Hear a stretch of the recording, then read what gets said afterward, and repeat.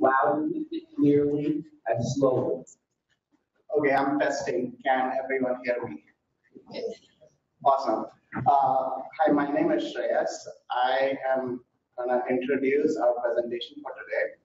So uh, as a class, uh, we studied the JCPOA, the Joint Comprehensive Plan of Action, uh, otherwise known as the Iran deal. And the perspective that we had was to imagine as if we were presenting policy recommendations for an incoming US administration this fall. Uh, So for the purpose of our analysis, we split this big chunk of topic into four smaller pieces uh, studied by separate groups.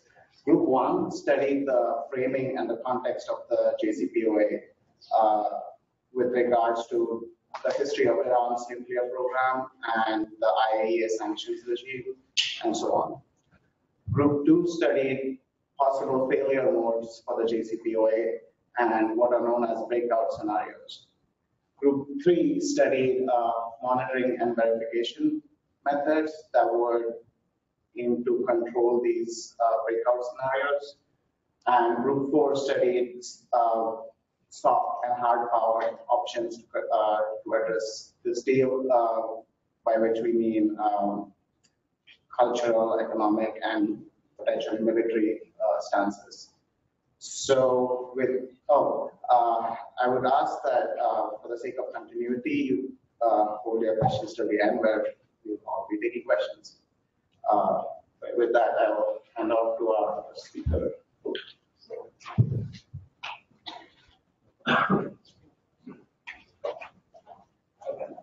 Hi, my name, uh, can anyone hear me? Hi, my name is Ian, and I'll be presenting for group one. Uh, we did the, we, uh, analyzed the framing in the context of the JCPOA. Essentially, what that means is we looked at how we got to the JCPOA, what the JCPOA entails, and what, what the interests and motivations of the relevant states to the JCPOA are. So Iran has had an active nuclear program since the 1950s. Um, Iran is also a signatory to the Nuclear Non-Proliferation Treaty, um, in which they agreed to not pursue nuclear weapons. Um, however, Iran was found to have violated IAEA safeguards um, put in place to uh, prevent that uh, in 2002, which has led to this current uh, crisis. Um, Following investigations, uh, the IAEA reported to the United Nations Security Council in 2002 uh, their results. Um, uh, under President Ahmadinejad, Iran took an increasingly confrontational stance, and this led to, to higher tensions and a series of United uh, Security Council sanctions. Um, as far as negotiations go, uh, the E3, which is uh, the United Kingdom, Germany, and France, they uh, began the first negotiations in 2003, which led to the Tehran Agreement in 2003 and the Paris Agreement in 2004.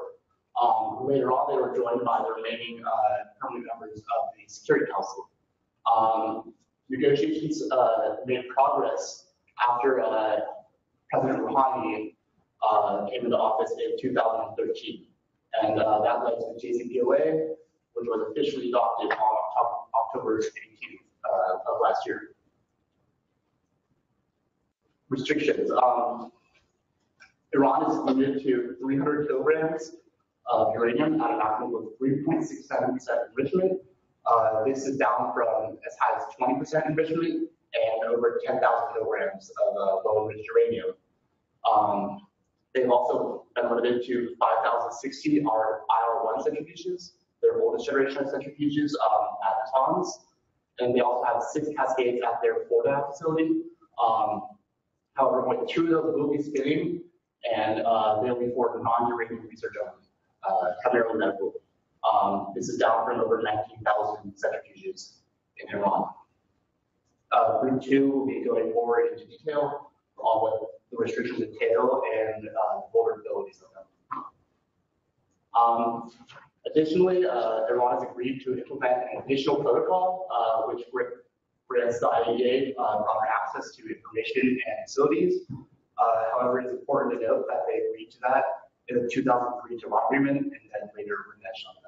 Um, All other centrifuges besides the ones at the Fordo and Natanz facility uh, will be removed and stored under IAEA monitoring. Um, And the IAEA will be granted round-the-clock access to those two facilities um, all uh, declared facilities, um, and there will be an increase of IEA inspectors from 50 to 150.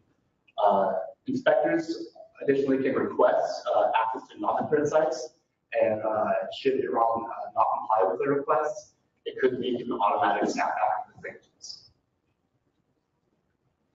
Uh, the There are additionally uh, restrictions on research. Iran will develop a uh, heavy water reactor at Arak. Um, However, all excess heavy water will be uh, shipped out. Uh, Currently, Iran's negotiations with Russia to sell um, the heavy water to Russia. Again, it will be limited to 3.67% enrichment, and it will not produce weapons with plutonium. This will be, their final design will be certified by an international partnership uh, to ensure that that is the case. They will also ship out all spent fuel from heavy research reactors. Additionally, uh, research and development will be heavily restricted for the first eight years, and then slowly the restrictions will be lifted as part of a gradual evolution towards peaceful nuclear research. The timeline of JPOA. Uh, so on January 16th of this year, uh, it was implementation day. This means that the IAEA uh, certified that uh, Iran met their initial commitments, and this allowed for the lifting of sanctions, and the sanctions are been lifted or are in the process of being lifted now. Um, and year 10, which is 2025, that is termination day, uh, they will be allowed to research and development uh, significantly, and will be the end of the Security Council considerations of the nuclear program. In year 15, 2030, that will be the end of the majority of the restrictions. Uh, And then in year uh, 20, the IAEA will end their monitoring of their centrifuge production. And in year 25, the IAEA will end their monitoring of their uranium production. So the major enforcement tool of the JCPOA is the snapback. This is where if Iran is found to be in violation of the JCPOA, all the sanctions will be uh, instated in full force. Um, The IAEA will be actively monitoring Iran throughout the duration of the JCPOA, and they will report any findings of non-compliance to the Security Council.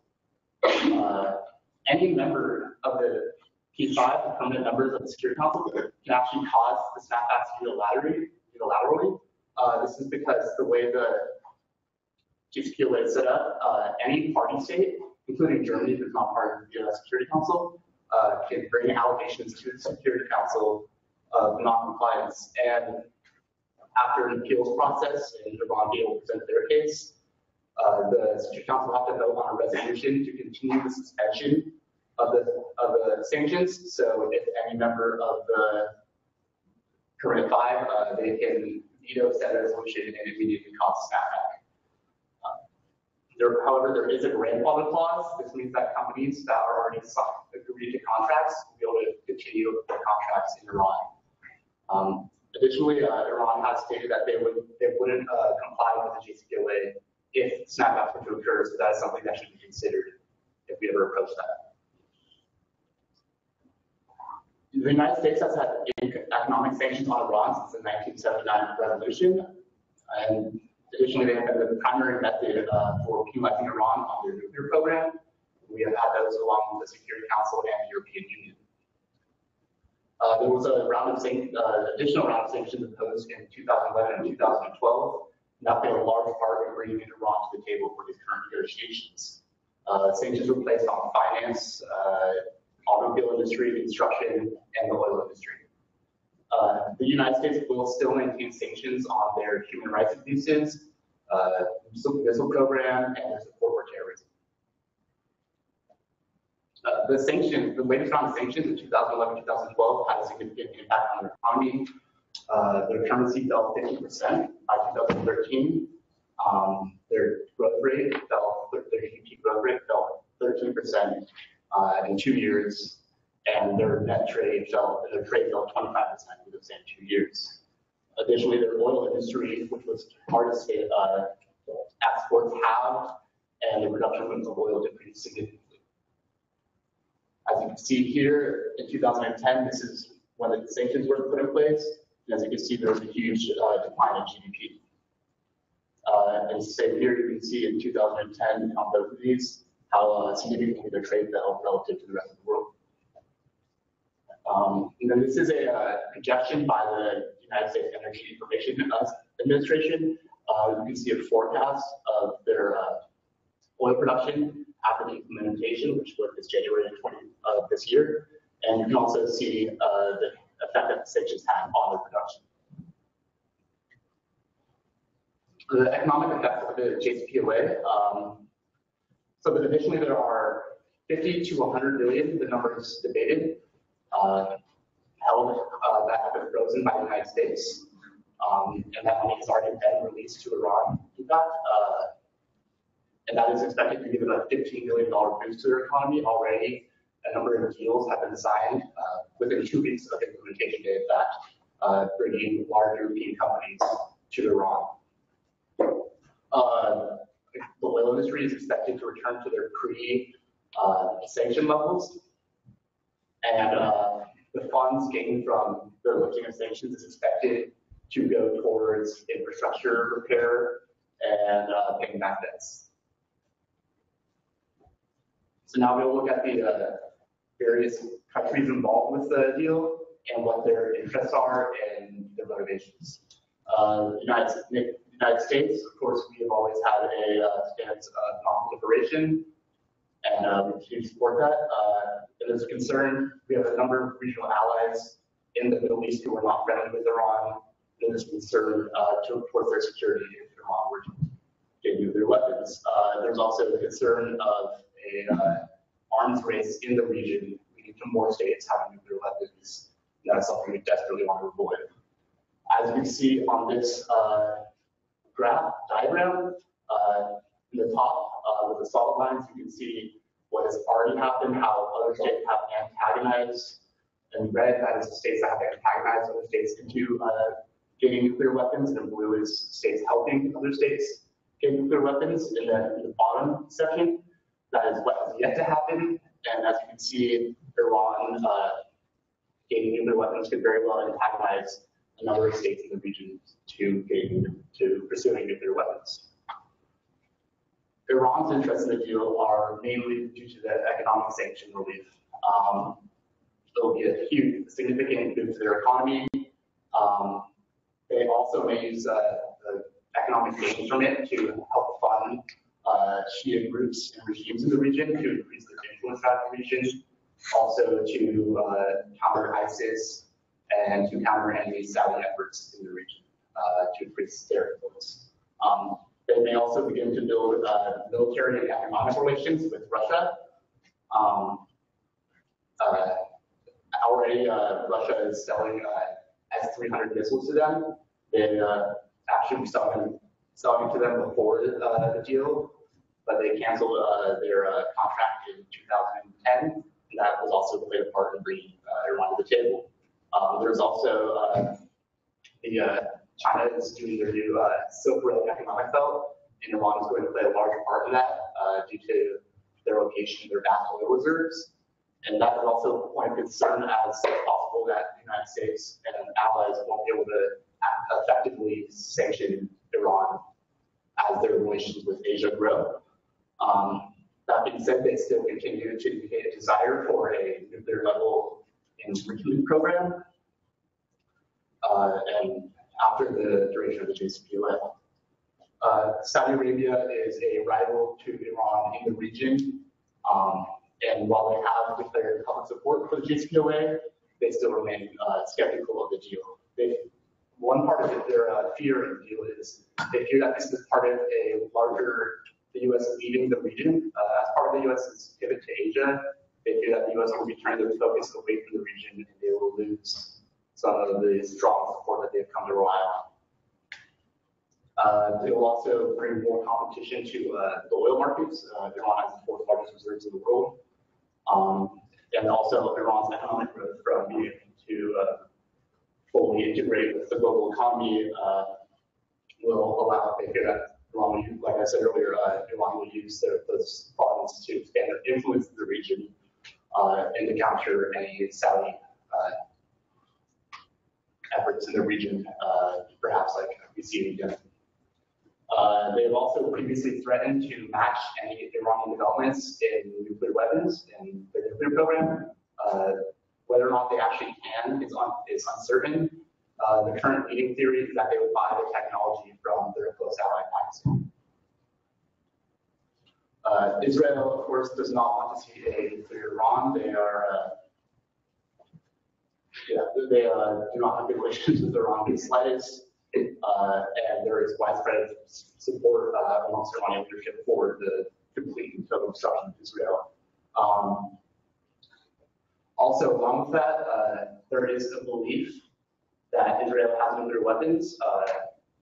That is not, no it is not certain whether or not they do, and frankly, that doesn't really matter in this context because the perceived threat of the nuclear weapons is enough to give them uh, huge power and influence throughout the region, and a nuclear Iran would take that away.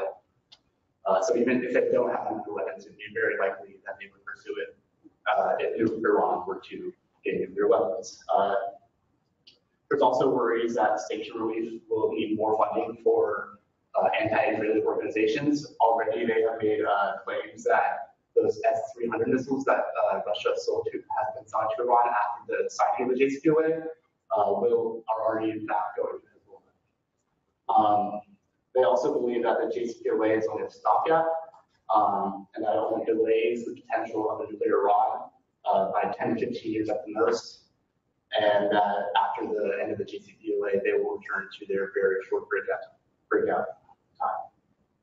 Uh, Europe uh, has played a large part in negotiating with Iran ever since uh, 2003. Um, there is a wide support among the general public and uh, leadership for, for the JCPOA and continued negotiations with Iran. Um, in part, this is because they uh, they are benefiting immensely from Iran being allowed to reintegrate into global markets. Uh, within two weeks of the signing of the JCPOA, uh, President Rouhani was uh, visiting various states and signing major deals uh, with companies to bring their business to Iran. Uh, and then finally, uh, Turkey, Egypt, and Jordan, they are the three other major uh, economic and military powers in the region. Currently, they lack infrastructure, funds, or willingness for an nuclear program. Um, however, that may, that may change if Iran develops nuclear weapons, as it would significantly change the power dynamic in the region. That being said, all three are developing nuclear uh, energy as a private utility with the Russian state-owned company uh, Rosatom. Um, the entire supply chain is owned by Russia, including the spent fuel. Um, and this is part of Russia's uh, growth in the region. Uh, they're already one of the largest utility providers in the Middle East, um, and they look to expand their influence in the region. Uh, that concludes Group One's presentation, and I will cede the floor to the next speaker.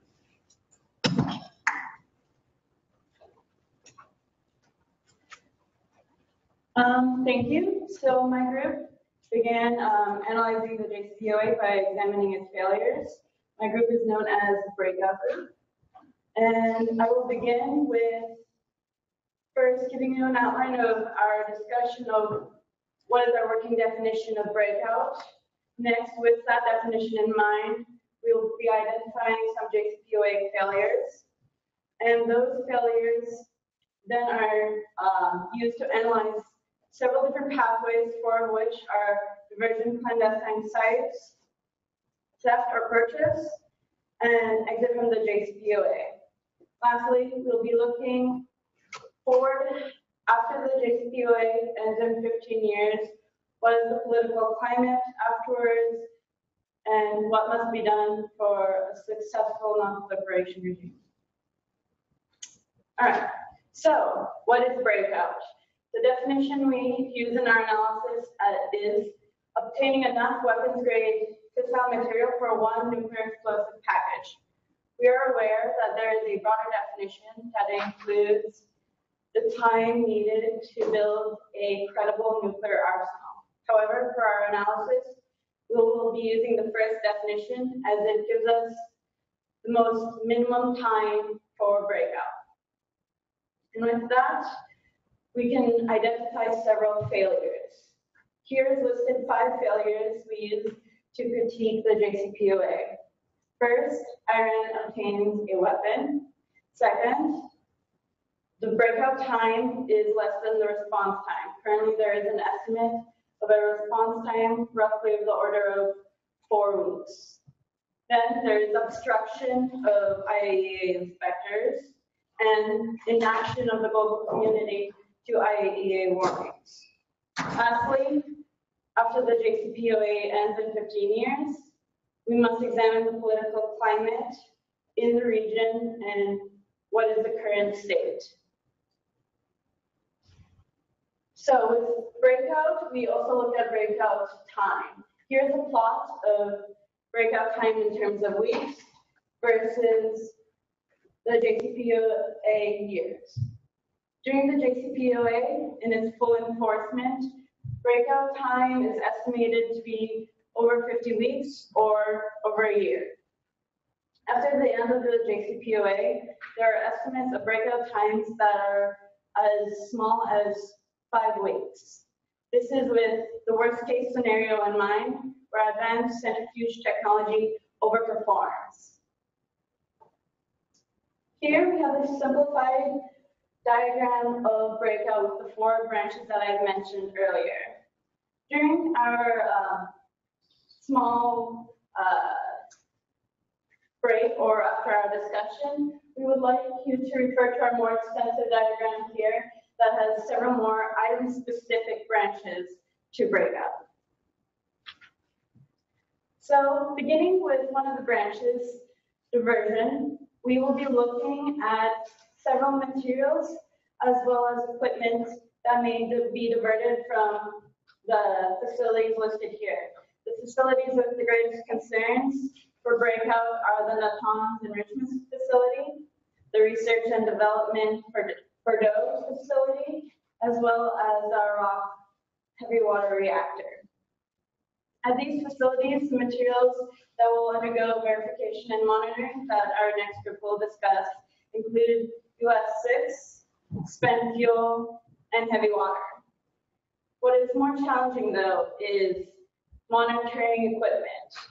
Centrifuge technology is a particularly challenging concern as there will be over a thousand centrifuge um, centrifuges that will be placed in an idle state.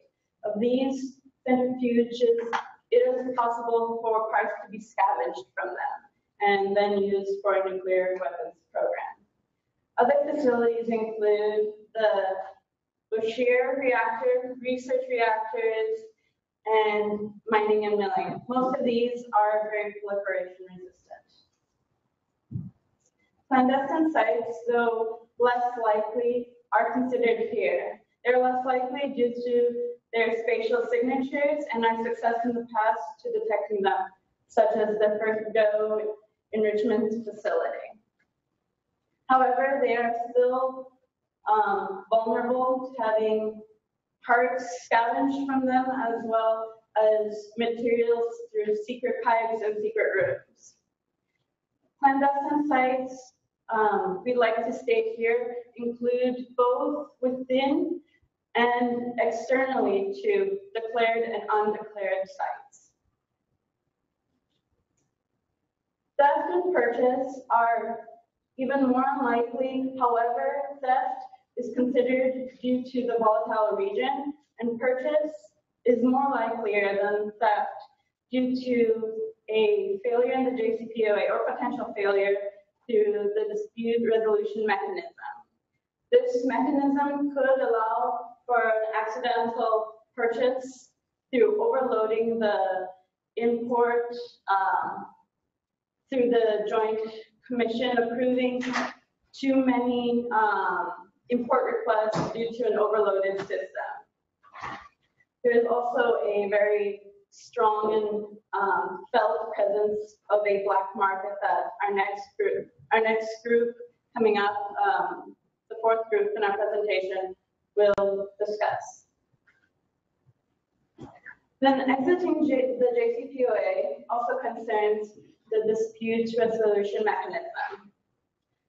Through um, the JCPOA, any of the parties part of it are able to exit from it through several different venues. The most concerning is through placing a dispute to the Joint Commission in which the resolution time, 35 days, expires, at which time a party can enter the JCPOA. There is also concerns placed by definitions of sanctions. A sanction that is removed versus sanctions that are still in place, specifically sanctions that target missile technology, weapons of mass destruction, and several personnel on list, terrorist list are sanctions that are still in place. However, due to certain ambiguities, these sanctions could be taken to the dispute resolution mechanism process, and if, once again, time expires, parties can exit the JCPOA. Looking ahead, one of the most uh, tremendous accomplishments of the JCPOA, besides extending the breakout time to a greater length than a year, is that the additional protocol will be ratified by Iran. Therefore, the IAEA will have uh, greater tools to its arsenal to investigate declared and undeclared facilities.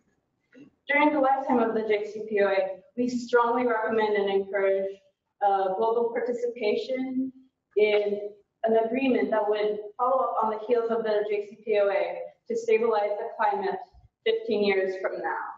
This would make the JCPOA an even stronger agreement. But this agreement means nothing without verification and monitoring that inspires confidence, which our next group will talk about.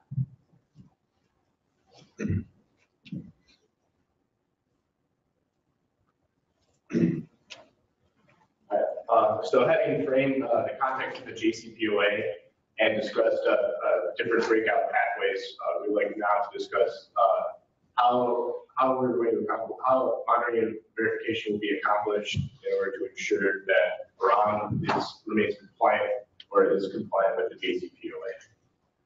Uh, Here's an outline of different topics to be discussed. First, we'll start with the prohibited activities, which were discussed uh, in the previous section as the three major breakout pathways. Next, um, we'll uh, discuss new technology currently in the research pipeline that used to supplement the monitoring and verification mission. And lastly, briefly discuss the potential uh, stance by, uh, more proactive stance that the U.S. intelligence community can take in its monitoring and verification mission. So uh, just to go over again, the list of prohibited activities uh, for monitoring and verification of uh, ensuring that Iran remains compliant with the Iran with the, with the JCPOA. Uh, the, the three breakout, three major breakout pathways uh, for monitoring verification are diversion, clandestine activities or facilities, purchase, and theft. To get into that a little more, uh, just uh, so diversion, uh, diversion of uh, nuclear fissile material or associated equipment related to the fuel cycle or nuclear weapons production can occur you know, at any stage of the fuel cycle. Um, in order, in the uh, in the past, actually, uh, the IAEA has, um, has been given the responsibility, uh, for conducting the monitoring and verification of all of Iran's nuclear facilities. In order, in order, uh, to carry out its mission, the IAEA has a, a variety of, uh, tool- tools and methods at its disposal. First of which is area sampling and analysis.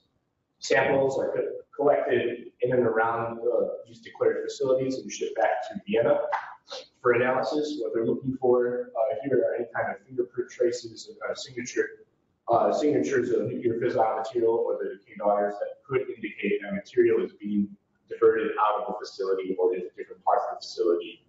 Um, Next uh, is the tagging and tracking of equipment and parts, as mentioned by the breakout uh, group.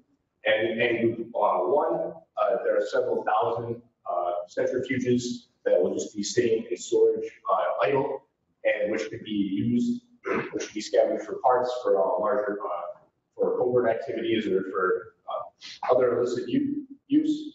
Therefore, the IEA is undertaking uh, the tracking and monitoring of all these uh, parts in order to ensure that they stay where they're, where they're supposed to be and they're not being, and not being used for any of the prohibited activities. Lastly, of course, the IEA monitors all parts of the fuel cycle. For example, here you have in the bottom left-hand corner, you have a picture of two technicians standing over a reactor pool. And what they're doing here is using Cherenkov radiation to analyze fuel assemblies in the, in the pool itself. This is very this is a very beneficial technique, uh, as it doesn't require, require the fuel, uh, fuel assemblies to be removed. Therefore, it removes any chance that Iran might have, if they are cheating, uh, to pull out the fuel assemblies and make any changes before the technicians come in. Another example of a monitoring, uh, a new monitoring tool the IAEA has is, is that has at its disposal uh, is uh, real-time uh, monitoring of enrichment levels for their centrifuge cascade- cascades. And this is accomplished, this could be uh, seen here down the bottom right, You is a steel, steel tube, which allow, uh, which allows the uranium hexafluoride gas to pass through. And then you have uh, blue, this blue box here, which contains your sodium iodide detector, which is able to detect the decay of your uranium and give you a real-time, give IAEA inspectors real-time uh, information about the enrichment levels in all, in all of Iran's cascades at all of their nuclear facilities. Uh, Furthermore, uh, the IAEA also employs uh, uh, remote cameras and sensors because while the number of inspectors has been increased from 50 to 150, it's still not enough to uh, ensure complete coverage of all the sites 24-hour coverage, 24-hour coverage of all these sites. Uh, Therefore, the IAEA takes advantage of these remote cameras and sensors with, with a tamper-proof design and install, and installs them in the facilities to keep, uh, to keep an eye on things as well. Now, it's important to uh, note that since the IAEA really is the primary actor in detect and uh, verifying that Iran is not uh, partaking uh, in diversion, uh, it's important to say that the IAEA relies heavily on U.S. technical and financial support. Something like a third to half its annual budget every year comes from the United States. Not to mention the, uh, the, the sheer number of U.S. Uh, technicians and scientists uh, that are used, uh, employed by the IAEA and contracted by the IAEA in order to uh, develop, maintain, and deploy all of the different detection tools used by the IAEA um, uh, in inspection facility, in nuclear facilities, not only in Iran, but throughout the world. And it's also important to mention that, that due to, due to conditions, uh, due to conditions that the IAEA has with Iran, and for allow, for allowing these inspections to occur, Iran has barred, uh, all United States origin IAEA inspectors from the country itself. So while no IAEA, US IAEA inspectors are allowed in, the U.S. should continue to indirectly support the IAEA, IAEA with its technical, its technical and financial needs. So next, uh, I'd like to talk about uh, clandestine activities, and just as a reminder of what they are, uh, here we identify them as covert operations within declared nuclear facilities or military bases, uh, completely covert facilities off the grid, similar to the Fordow enrichment plant, and uh, I'll talk about this a little bit more in the uh, theft and purchase, but the black market purchase of nuclear fissile material or related equipment. Now, since the IAEA is an organization, and as an organization, it's not equipped to uh, conduct conduct any kind of monitoring and verification for clandestine activities, its responsibility responsibility really falls to the United States intelligence. And in order to complete this, uh, the United States uh, the USIC could really take advantage of all the standard uh, uh, intelligence collection and analysis methods, particularly satellite, satellite imaging and unmanned aerial reconnaissance imaging. These kinds of uh, these kinds of high precision photos would be able to uh, give, give you macro signatures, uh, be able to track track large movement patterns of people, resources, and even construction projects that Iran might be Iran might be undertaking. If you couple this, coupling this with uh, thermal imaging from these sources as well, it allows you to identify activity uh, at, at previously inactive sites, um, just from their heat signatures or to detect completely covert facilities.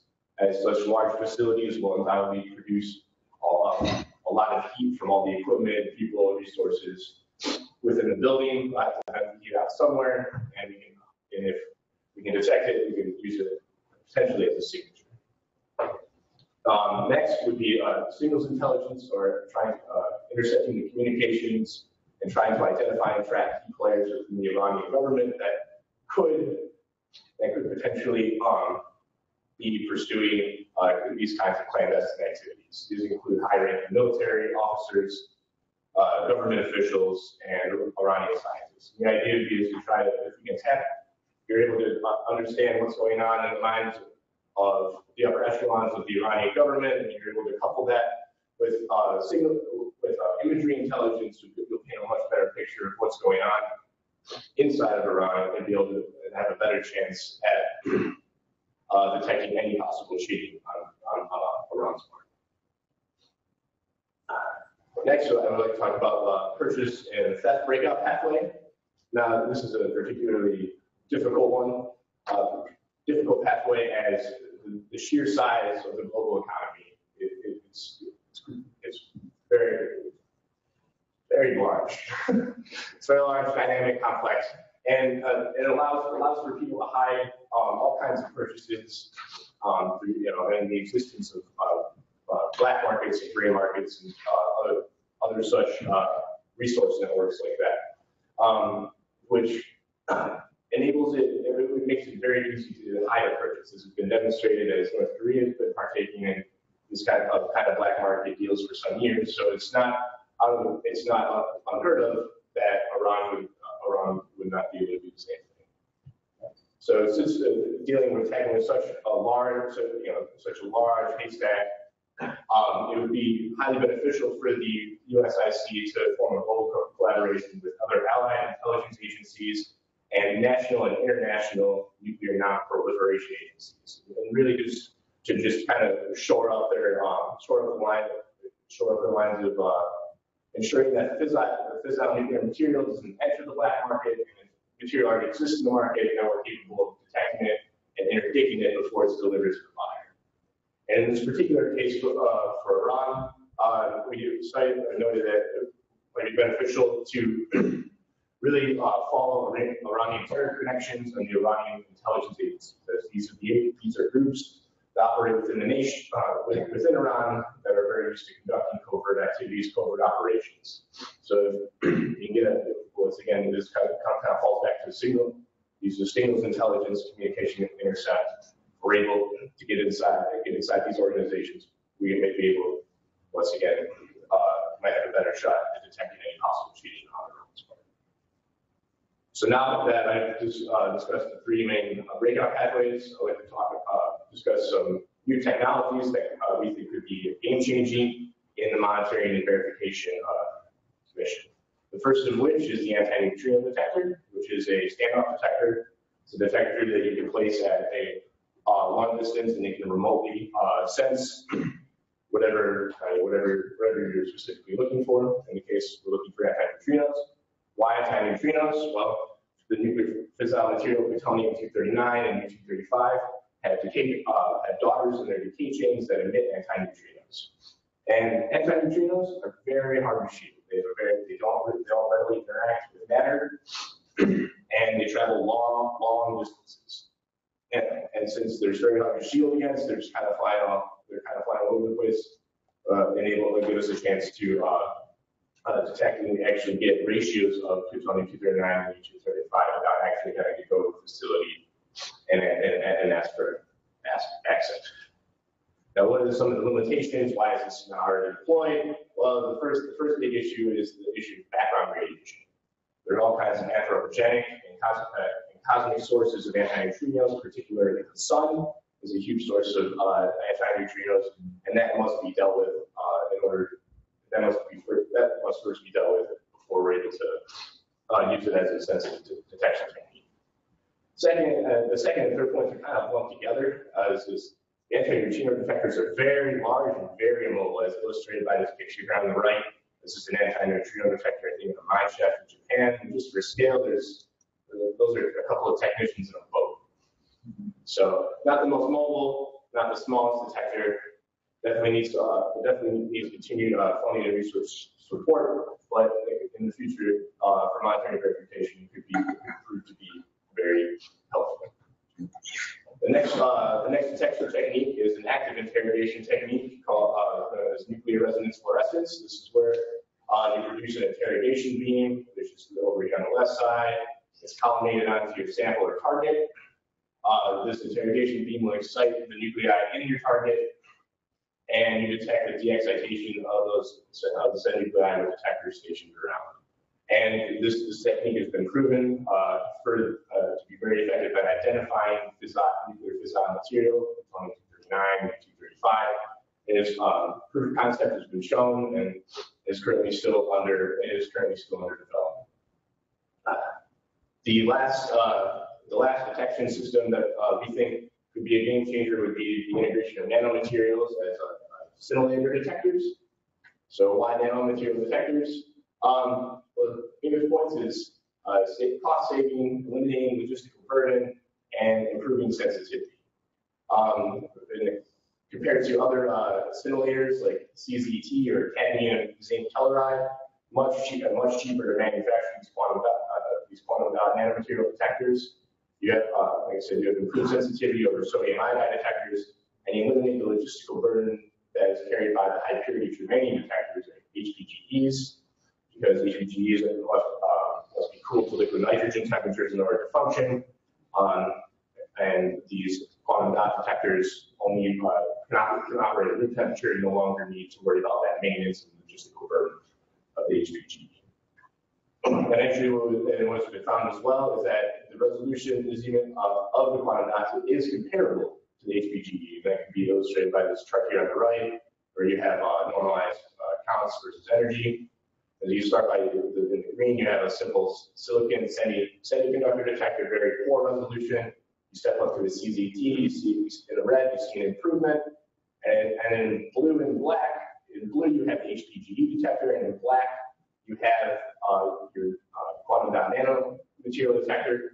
And you can, it's kind of hard to see because the, actually the lines are, are very well, are very well synced with one another. There's a lot of overlap and really demonstrating the resolution power of, of these detectors. Currently, uh, proof of concept has been shown for these detectors, and work is underway to improve consistency and uh, production methods.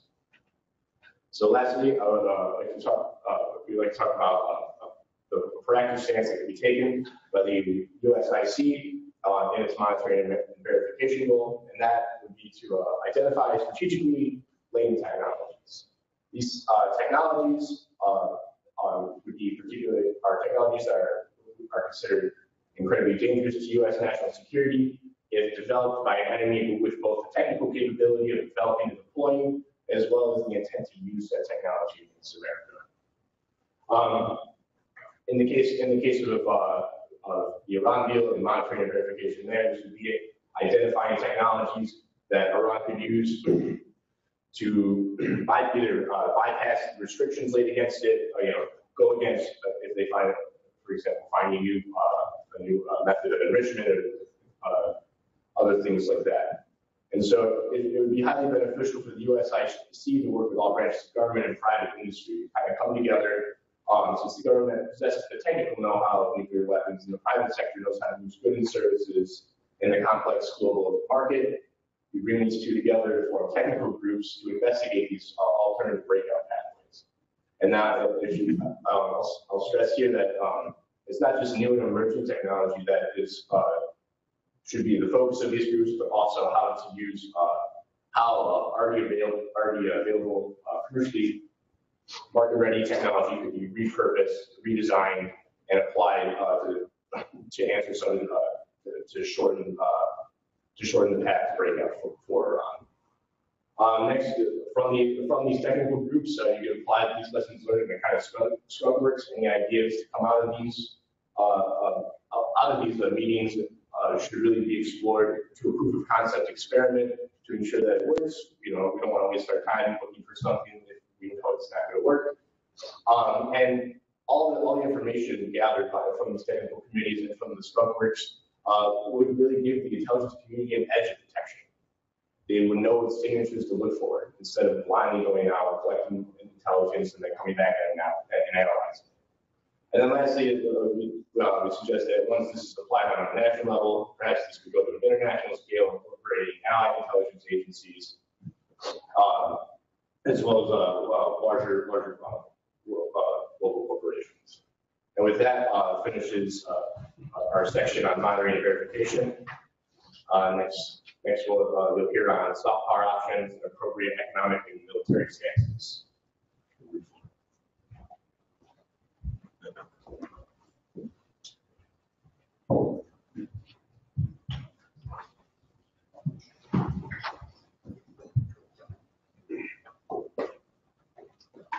Uh, Hello. So we have sort of discussed uh, some of the uh, JCPOA and how it's laid out and how really the uh, effectiveness is on the sanctions would be. But my group has looked into uh, other options, referred to as soft power options that may be able to be employed in alongside of these sanctions relief to improve the effectiveness of the JCPOA agreements, as well as uh, other uh, economic standpoints and correct military uh, stances to take alongside of these agreements. Uh, Just for some definition purposes, soft power is really referred to as diplomatic or economic routes. Uh, Really an umbrella term that can be led, that can lead to a, uh, a change or a uh, reduction in the for non, for proliferating material. Um, in, in our instance, we looked into uh, two or three programs, one of which was involving a uh, leveraging of the foreign trade, uh, as well as the scientific and academic partnership aspects that can be maintained alongside of this nuclear uh, field.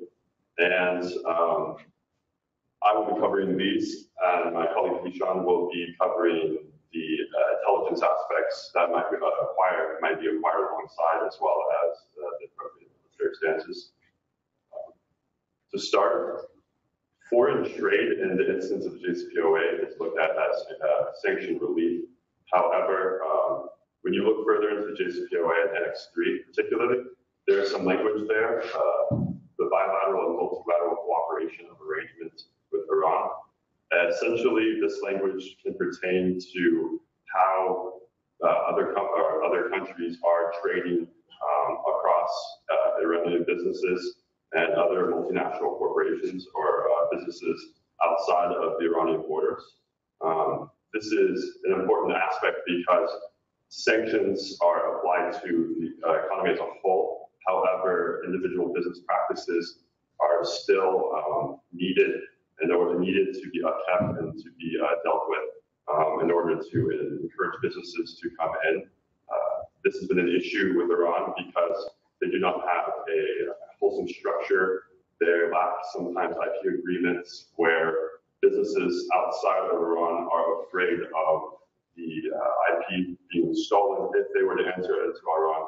And uh, they are, they also um, ha- lack general foreign investment. Um, and this is a very important issue when concerning uh, Part E of the Annex 3 because it's been looked at throughout the presentation. The nuclear, uh, really energy sector is what's mu- most, most, uh, sorry, most focused on with the JCPOA. However, there is an entire uh, field in nuclear outside of the fuel cycle, essentially. Uh, this could be nuclear medicine. Uh, associated technologies would essentially be, for example, um, when looking at uh, fractures or damages in steel parts for things like airplanes, they use gamma rays in order to scatter off of that. Um, this sort of technology is, is beneficial, especially in the case of Iran, who already has this large uh, structure geared toward oil, which they are sort of looking toward improving their mechanical engineering as a whole. And nuclear may offer this to them. However, as I mentioned before, businesses and uh, those who are already upcasting the technology need to be able to enter this in order for them to, to see this. And uh, a way to do this is through the WTO, the World Trade Organization. Uh, Iran has already been expressed interest in this membership for quite some time. It actually applied in 1996. However, the U.S. had put political pressure within the WTO not to uh, have secession to full membership or even any membership status until 2005, uh, uh, after some nuclear negotiations of our own with it. Um, however, in terms of recent events, it looks as though they are now at observer status, and the next steps are to assemble their working party, which is a party consistent of any WTO members, uh, as well as uh, develop a reform plan that will restructure their internal economics to agree with WTO governing legislation. Uh, this is crucial, especially to maintaining like IP production. Um, this way, foreign trade and foreign investment can actually occur within Iran. Uh, how, so what the uh, JCPOA can do, the Joint Commission can uh, actually leverage their benchmarks to accession as full membership.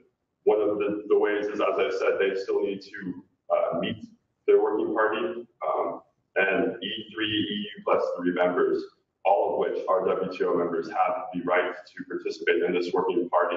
So if they position themselves within this party, they might be able to negotiate what has already been agreed with within the JCPOA to make sure that uh, economic standards line up with the nuclear agreements that already occurred. Another benchmark may be the reform plan. This is required by the WTO to assess whether or not they implemented the correct restructuring. Um, this could be very key if these specified uh, E3 EU plus three WTO members um, took lead into this presentation, into the report presentation, as well as the assessments.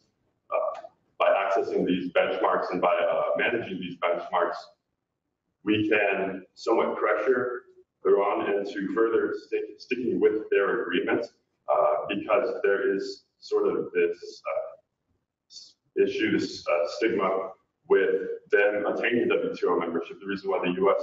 did not want them to do so before is because fear of uh, legal action. Once they did attain full membership, all the sanctions that were applied were feared to have been uh, illegal under WTO uh, violence. So it's actually ambiguous at the moment, but with the sanction relief provided within the JCPOA, it looks as though Article 10 of their GATT uh, governing body, the governing legislation, will uh, make sure that no legal action is pursued. However, it is still uh, uh very important that this um, benchmark be sort of drawn out into where the negotiations are further solidified.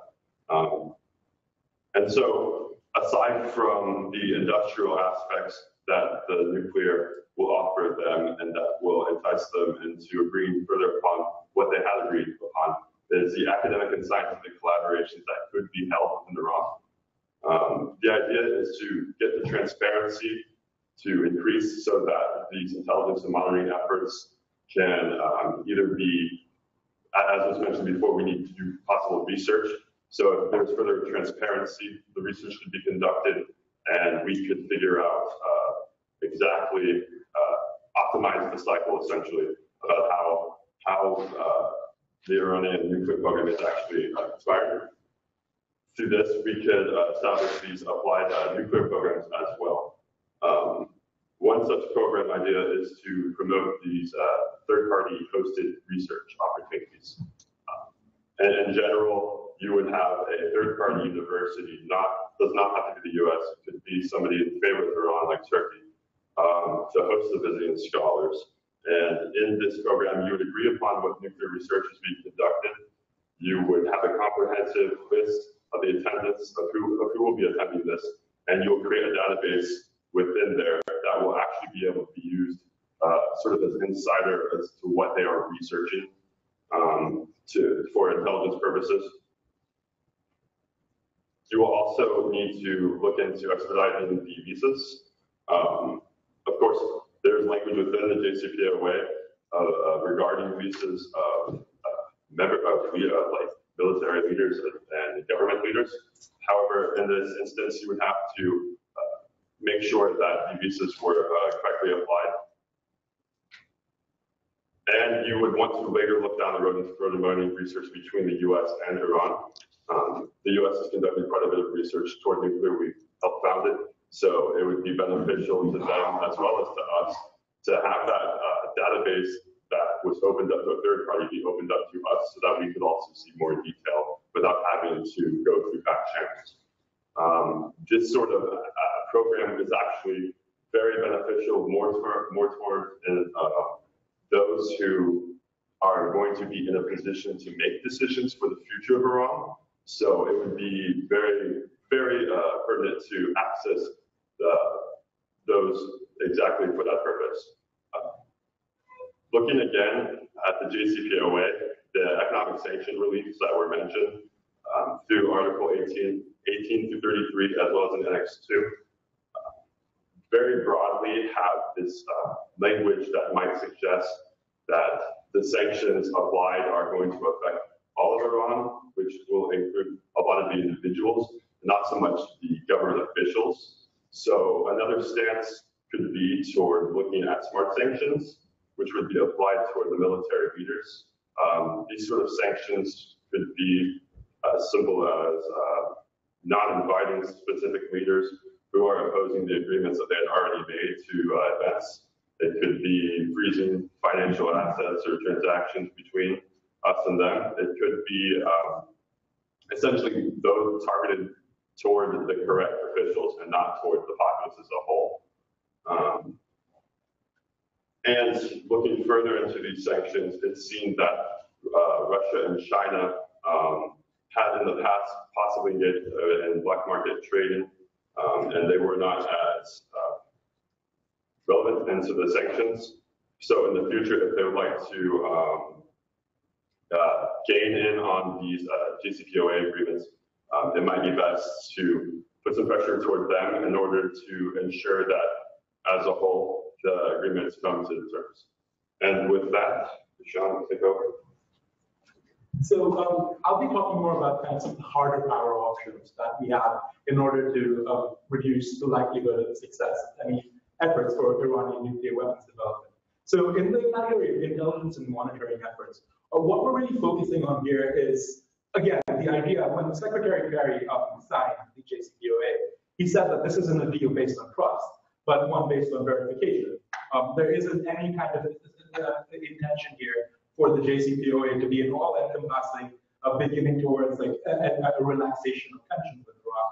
There are still significant areas of contention and disagreement between the two countries. But what we want to do is look at what stances we can have with regard to intelligence and monitoring here that will allow us to ensure the success of this treaty in its limited sphere. Um, there are three policies that we'll be recommending, uh, policies within three spheres that we'll be recommending. Firstly, we're going to look at reorganization within the intelligence community, uh, within the United States intelligence community to best achieve success.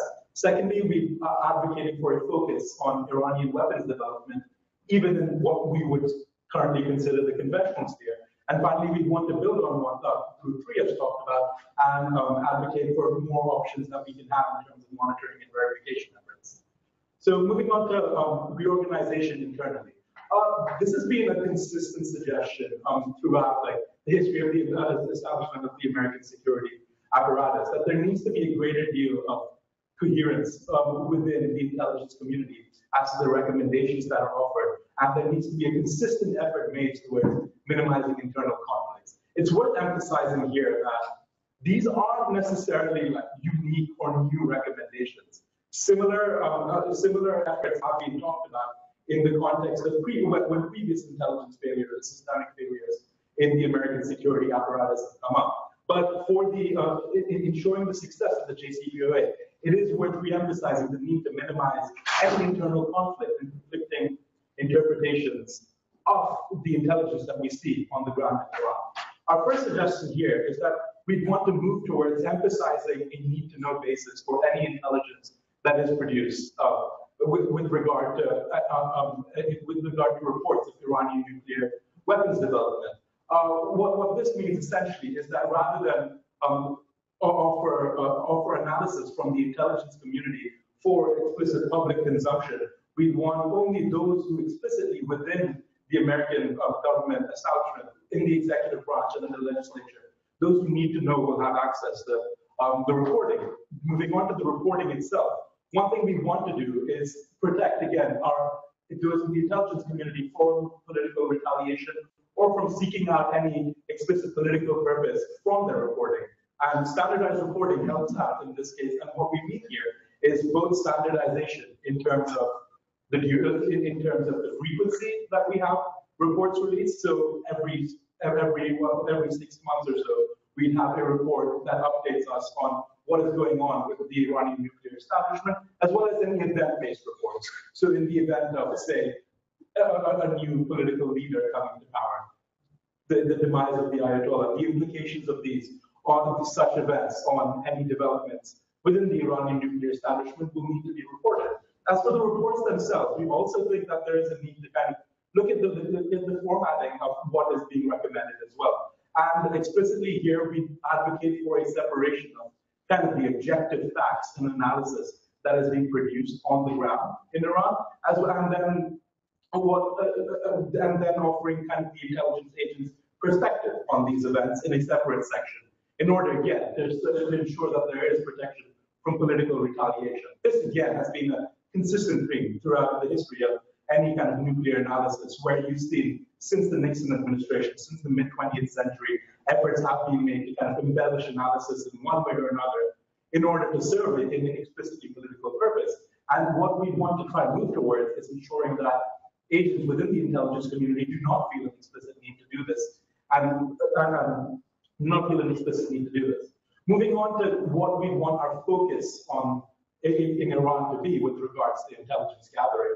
Uh, we think it's particularly important, even when we take out nuclear weapons from the equation, to look at why Iran has been making the kinds of moves that it has with regards to both developing nuclear weapons and um, um, asserting itself in the Middle Eastern region. Um, our interpretation here is that part of this is part, partly like emanates from a desire to assert itself as kind of an equal, if not the supreme power in the Middle Eastern region in a way that Iran has not been for a significant um, duration of the 20th century and the 21st even perhaps. So when we look at kind of why Iran has been developing the weapons that they do, even restricting any even restricting any developments in the nuclear sphere does not necessarily mean that this restricts Iranian ambitions in, with regard to any belligerent, uh, any belligerent stance that Iran wants to take. An example of this is the recent testing of the Imad missile. Um, this is again a, a warhead that can be modified to fit on a nuclear warhead that has been tested and proudly proclaimed by the Ayatollah as a sign of the kind of development that Iran would want to be focusing on. So with, with this in mind, what we want to be doing is monitoring progress and capabilities and focusing our intelligence efforts specifically on Iranian weapons development. This will also mean that we don't just want to be distinguishing between, say, this, these are kind of the categories of nuclear weapons that we see and conventional weapons, but also looking at a further timeline, 10 years out, 15 years out, when the JCPOA, the terms of the JCPOA, the terms of the JCPOA lapse, what er, options that Iran, Iran has at that stage to convert these putatively conventional weapons into nuclear warheads, like a modified Imad missile. Um, in order to do this, we want to focus on creating specific development, development pathways within the intelligence community collaborating with academic and scientific experts. One way we want to go about this is gathering the intelligence that we have about current Iranian weapons development efforts and trying to repeat that process in a parallel manner um, within the intelligence community here in order to try and forecast out what kinds of developments may be led, what kind of developments current Iranian weapons capability may lead to in the future in a in, in immediate term, uh, intermediate term, as well as in the longer term. Finally, with regards to um, intelligence um, capabilities and the intelligence community, what we want to do, we'll emphasize here with regards to monitor, monitor, monitoring and verification technology, is that we're trying to build on what we've already talked about previously, Group 3 and what Jeff presented. And something that worth emphasizing again is that what the IAEA, with American assistance, can be incredibly effective when access is granted but what we also want to do as the American intelligence community is try and look for ways to augment and bolster our capability when there isn't explicit access granted, whether it's a secret facility or in a longer term range, like after the 15 year timeline of the JCPOA has lapsed. An ideal way to do this, we believe, is by augmenting the concessions that we have already gained with Iran in the JCPOA in exchange for economic relief, in exchange for the lifting of visas and um, a less belligerent uh, uh, American stance towards Iran, there have been significant concessions granted with regards to the kind of inspections that Iran will allow on its own soil.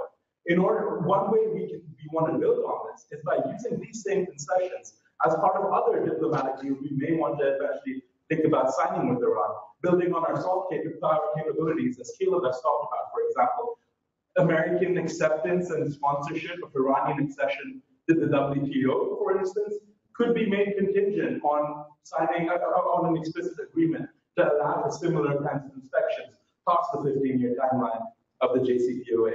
In addition, we want to emphasize the need to focus on technology development in three distinct spheres, drone-based technology, manned vehicles, and personnel-based technology in order to augment our intelligence gathering capabilities and utilize currently existing key pathways with, uh, with, with, both with our current technology capabilities and our international allies in order to monitor, in order to succeed in regards to monitoring and verifying what exactly is going on on the ground with Iran.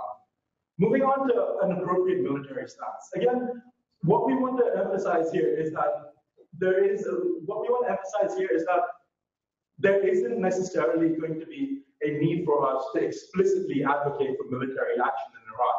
Um, and our, our, focus here is on ensuring restraint. I'll be talking about three separate policies, uh, three separate focus areas here.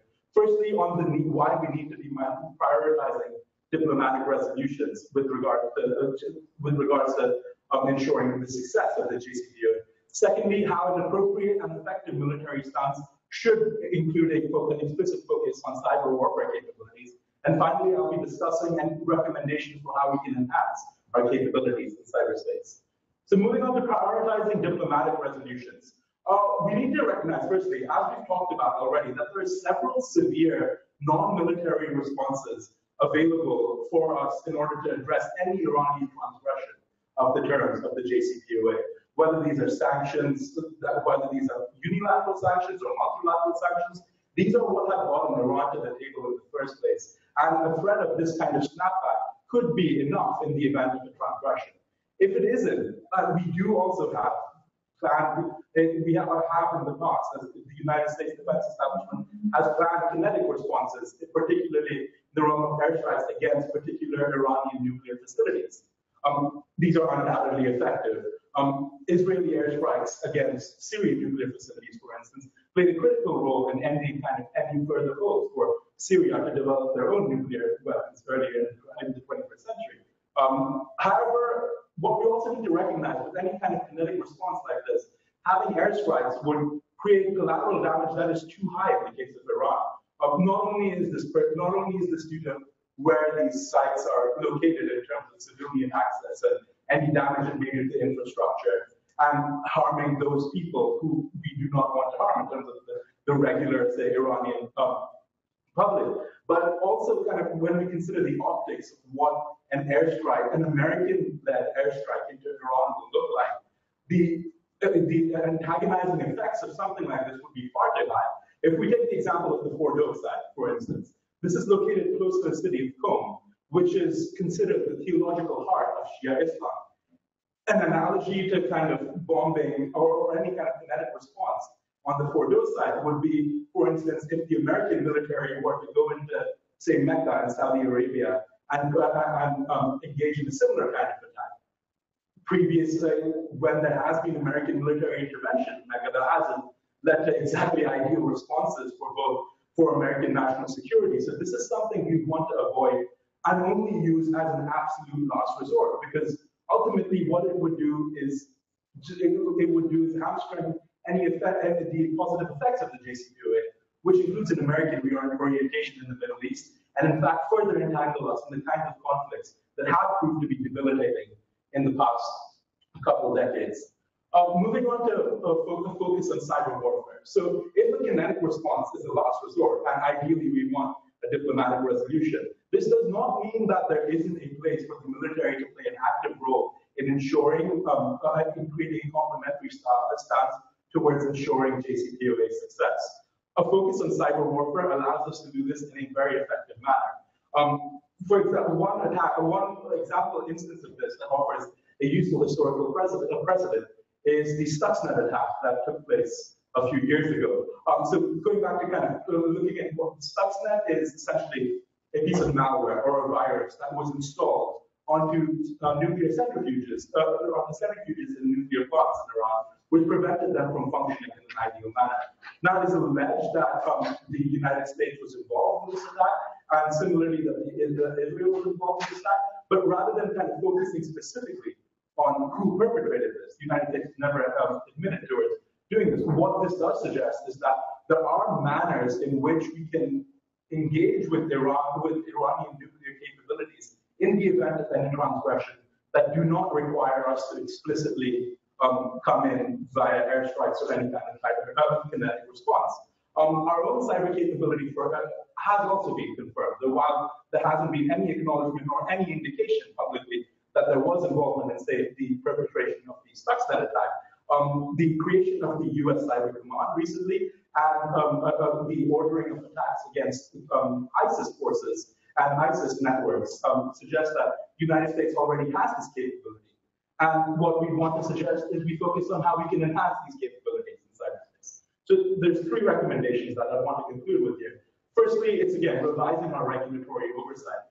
Part of the JCPOA success also involves ensuring that there is a public acceptance of our stance and a public recognition that this does not necessarily mean we're acquiescing to the demands of a country that we've considered a state sponsor of terrorism for the past few decades.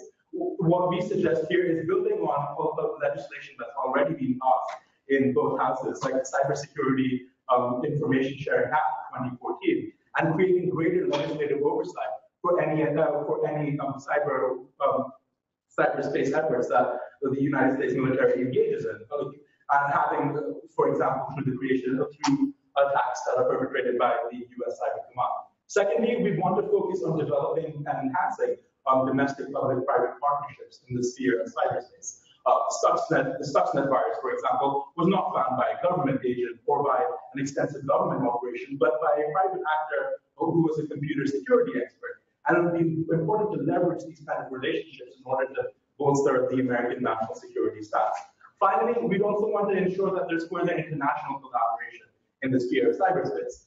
Um, it's important to recognize here as well that there hasn't, there isn't kind of like with, unlike with nuclear weapons, there isn't a declaratory policy that any nation has established or agreed to with regard to the use of cyber weapons or any kind of cyber warfare capability.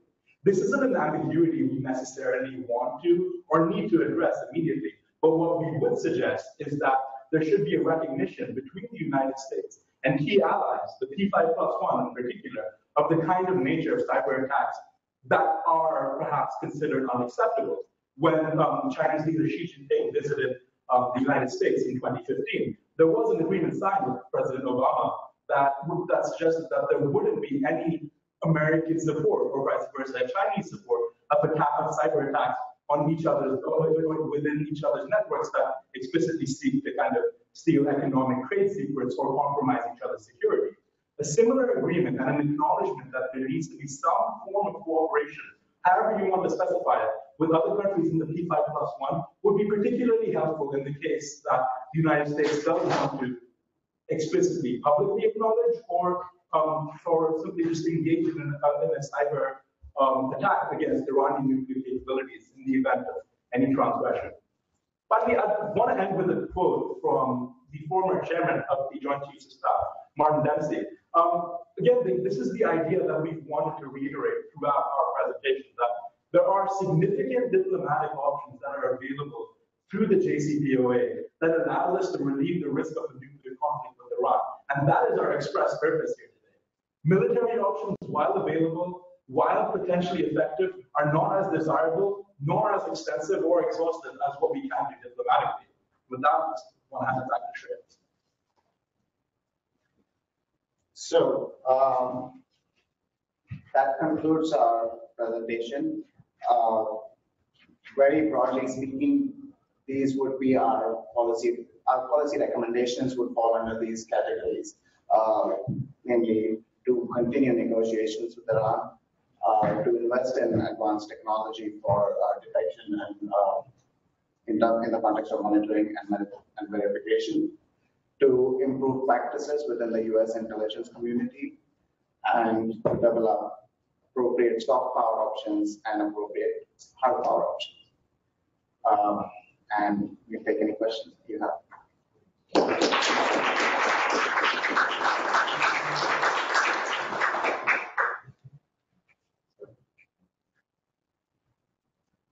Your soft, by the way, excellent work. Uh, in your soft power you're counting on, uh, being able to have access to the Iranian academics and scientists and researchers. If you look at it from the Iranian side, how open they would be, and if there are issues, how they around that, I mean, military of I understand they would want to have. It's but, you know, From the academic standpoint, yes. the collaborations that have been fostered with Iranian universities has been open no matter, or throughout the sanctions that have been imposed. And So there have, so through the past nine or 10 years, these academic collaborations have been fostering and they have been growing until the visa sanctions came along. And even though there were still collaborations, they leveled up at some point. And so that's what we're trying to do with these uh, academic collaborations. Also, I can elaborate on that a little bit. We see the uh, relationship in the and Soviet Union in the late twentieth century is kind of indicative of what we're going for here, and what you're sort of parking at is that it seems like uh, professional intellectuals like sort of sharing their work with other professional intellectuals and see that part of the work that they're doing this is fundamentally useful. To. we're I'm, I'm all for it, I'm getting letters from the I mean, you know, I'm in the oil industry. I've been invited to many, but I cannot these sanctions there, so I'm saying that we may have a problem with this. Yeah, I guess like kind of continuing on what he was saying and also going into the new technologies section that you guys mentioned. Um, I personally don't think that if Iran were to break this deal and start proliferation again, that we wouldn't catch it. And so with the current technologies that we have in place, so you agree that we should invest in new technologies just because it's something we're already doing. Um, but I don't think that you can actually use any of these new technologies to catch Iran, also due to the fact that the IAEA specifically has legal documentation saying what technologies are available. So if you went to Iran and said, we caught you cheating using this anti-neutrino detector, even though we've never been able to prove that for any other country, that wouldn't be a legal verification of, you know, imposing sanctions on them again. So how would you incorporate, and yeah, you mentioned that we do need to have more university collaborations. So how would you try to use this area where we know that there are new technologies that could be able to go to Iran?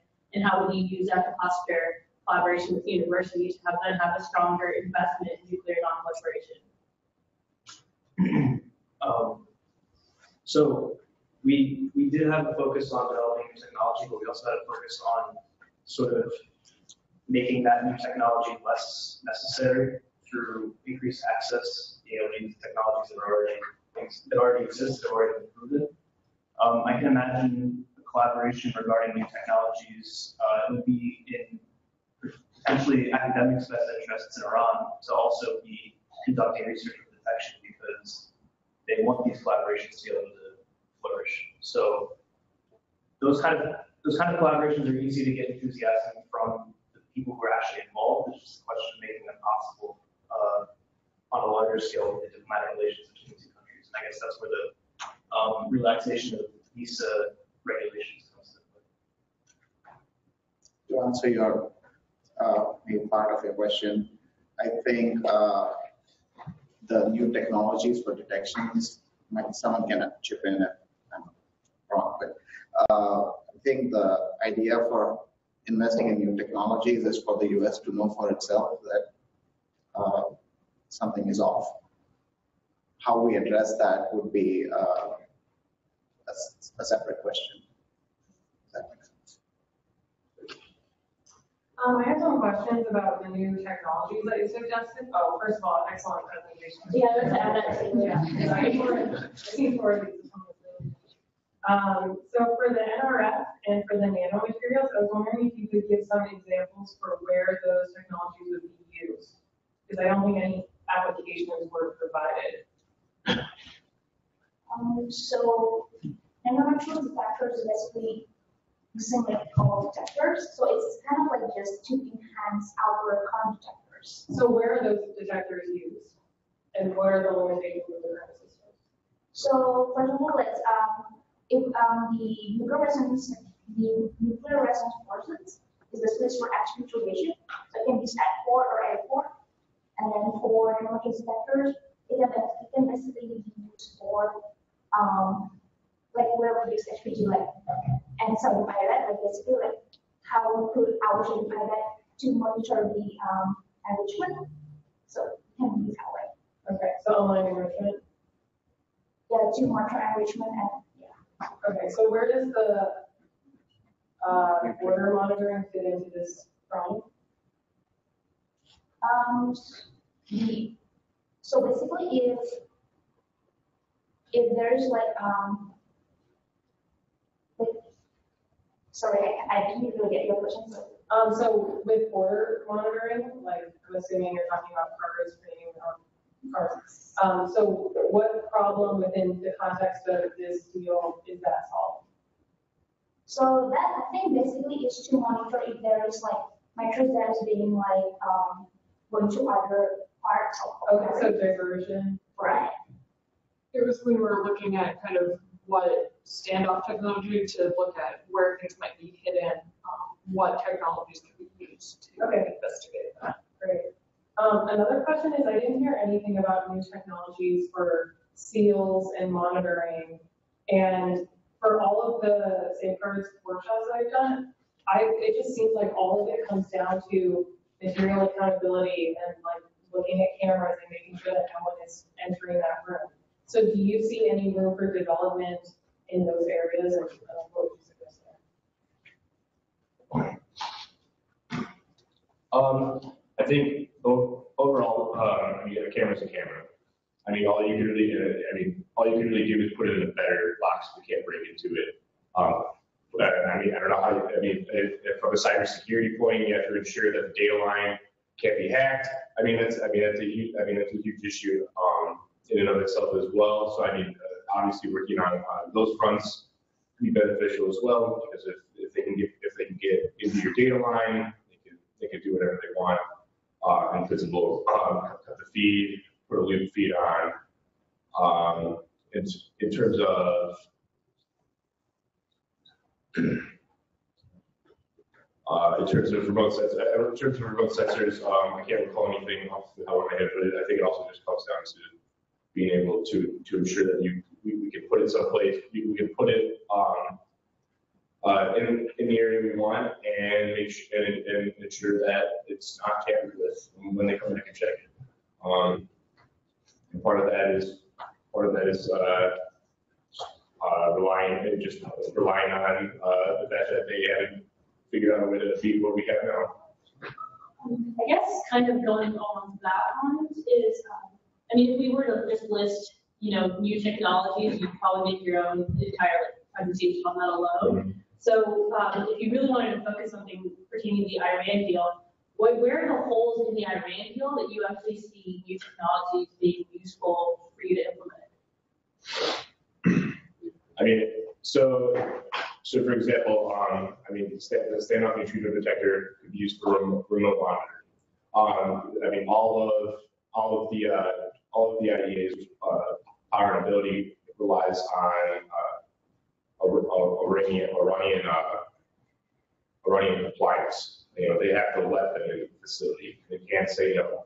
And they, uh, just discuss, they put through that kind of thing. So being able to, being able to remotely look at fuel assembly, being able to like, being able to remotely look at fuel assemblies, perhaps without their knowledge, um, or being able to look at things remotely without them having to take it apart for us, uh, for, take it apart for the inspectors to, to conduct their inspection, I think it would be very beneficial because it's in those gaps of time where, you know, I think, where we think, you know, they- can come in, change, change whatever they, you know, change something to hide whatever, whatever they're doing and potentially fool the inspectors on the of the field. So one comment on the anti-neutrino detectors, uh, the fact that we know so little about anti-neutrinos has made it really difficult for us to actually use that as a technology, just because you can't, I think we can solve each individual spectrum.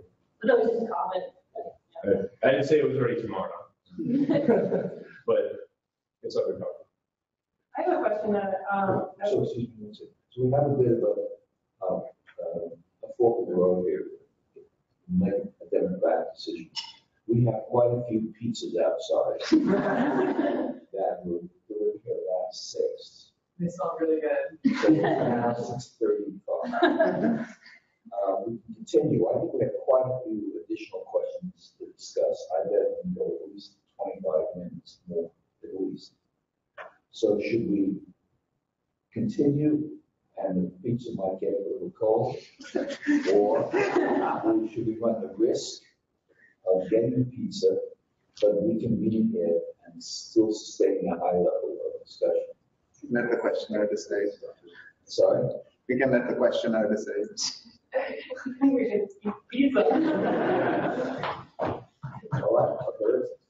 just five minutes to get the. Come back.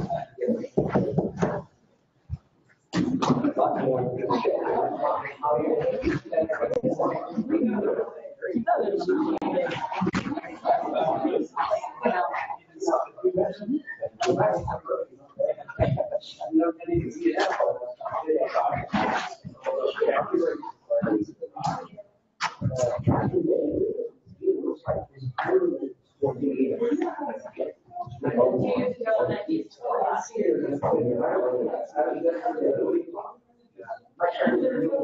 we're just working on your-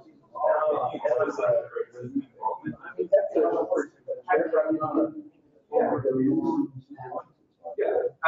think once, like, especially now, you kind of integrate. Sure, like, you know,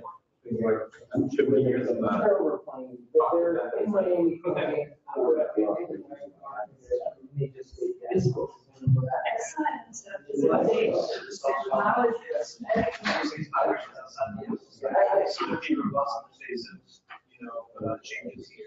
I of the United States.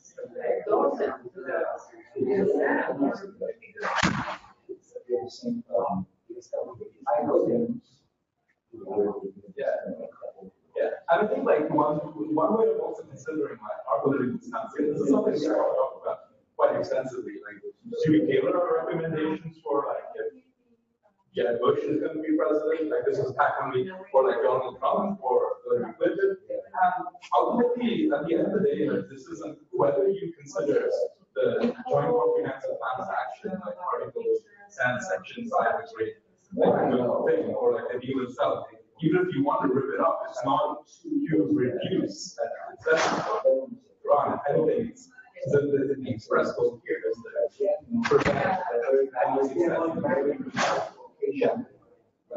And, which is, yeah. Well,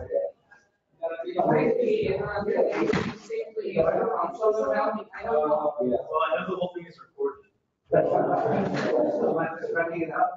Yeah, so I just submit a report. But since it's part of the uh, security and science consortium, Carlos doesn't get brought up.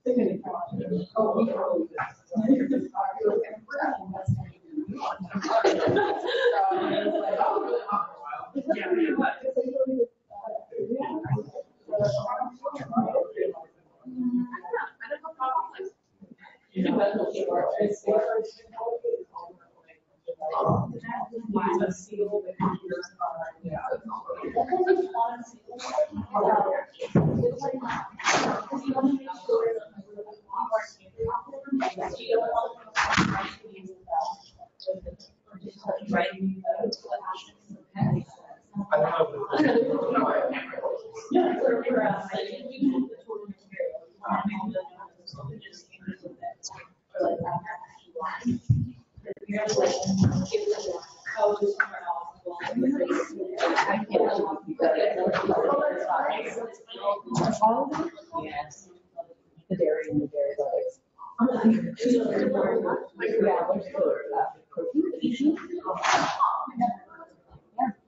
Yeah, it's like an allergen. The lactose one's pretty interesting. It's like, yeah, your body doesn't digest the enzyme. Enzyme that digests it. Yeah. Yeah. So. Did you develop the dairy allergy?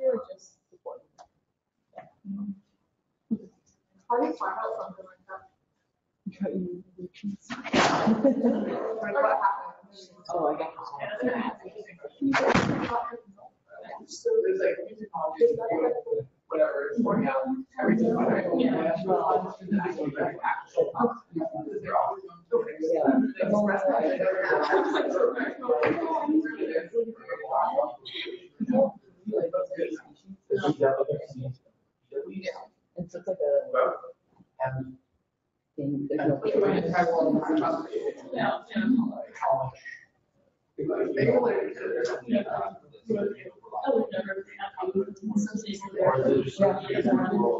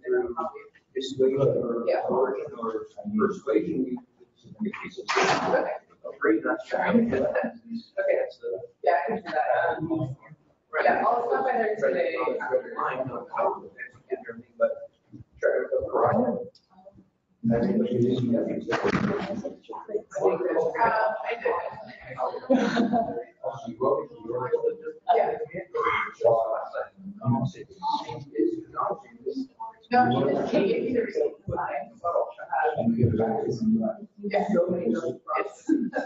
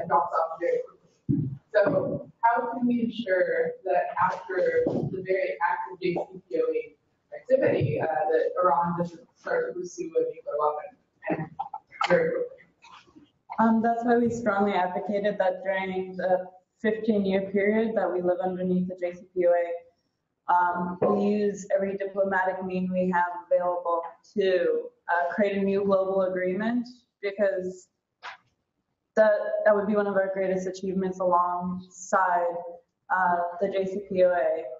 Um, They have rights under the NPT to pursue research and development into centrifuge technology. And that just showcased what would be the worst case scenario, um, which is what we need so that we can develop competitive advanced technology in detection and verification.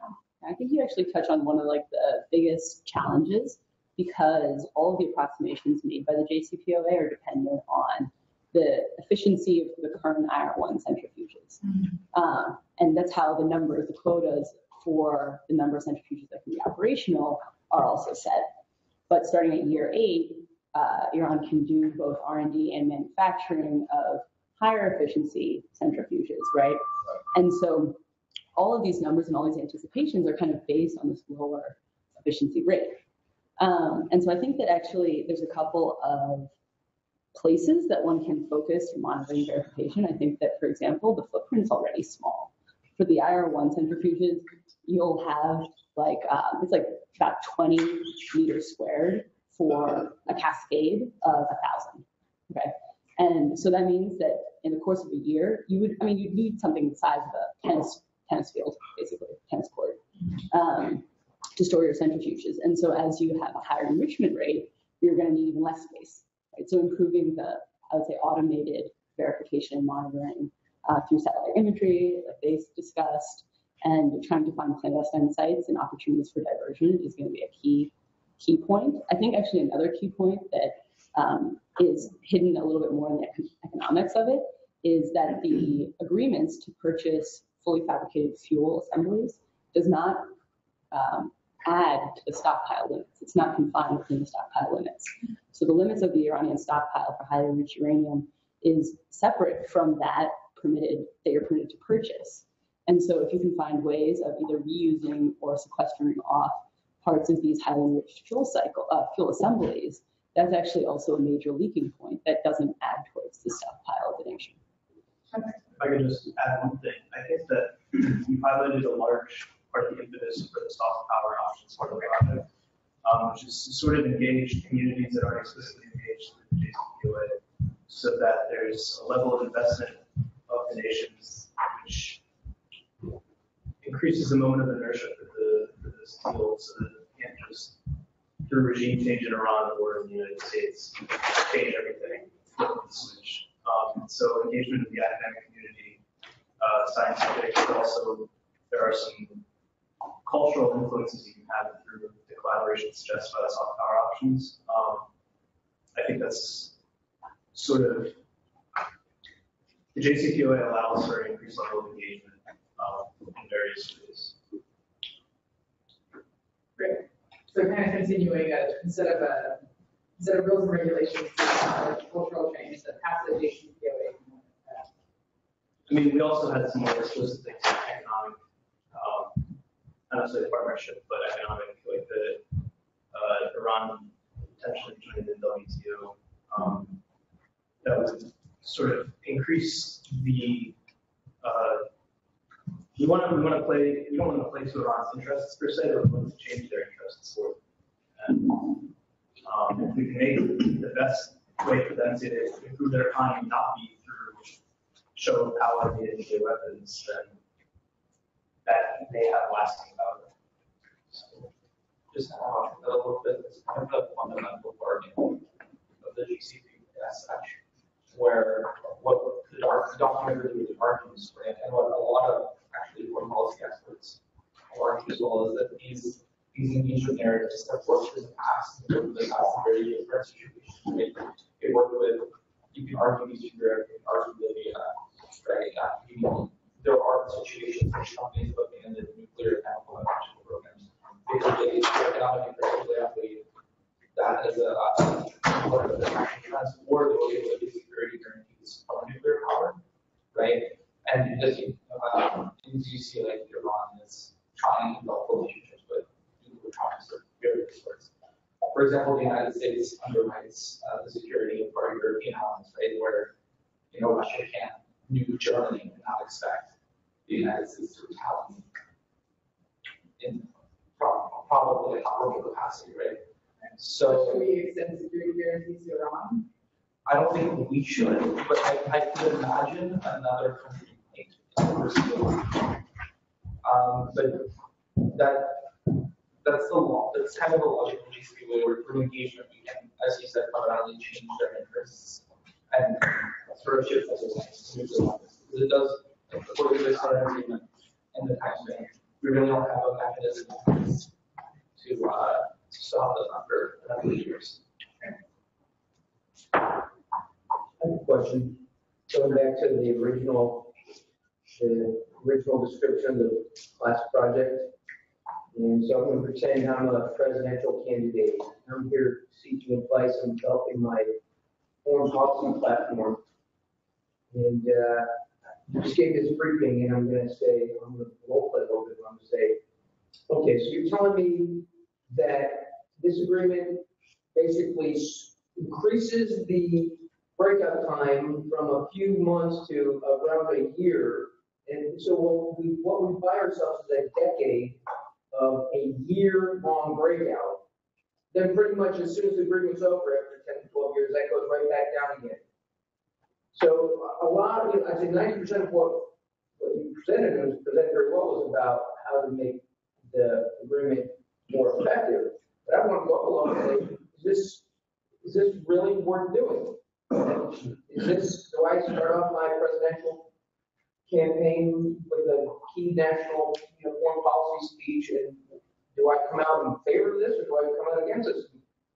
Convince, tell me what you recommend me, what you think, what, what do you think I should do. Is this really a good agreement? Is this something I want to support strongly on day one or is this, is this worth doing? Is, is simply increasing breakout for a decade good?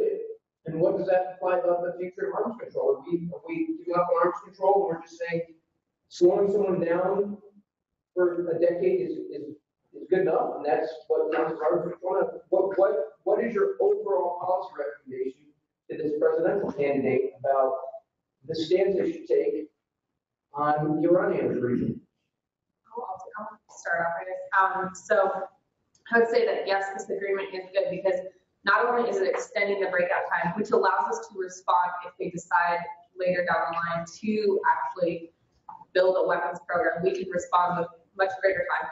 But it also opens up a diplomatic channel with Iran, which is extremely important to future agreements. So while this is a stepping stone and from your eyes, it's only extending breakout time to a year, it's getting them to the table, it's getting them talking, it's bringing them into the international community, making them a part of the economic world. And, you know, it's making, it's, instead of isolating them like North Korea, where they're impervious to sanctions, it's bringing them into the fold. It's getting our people talking to their people. It's improving ties, and that's really what the cornerstone of this is doing.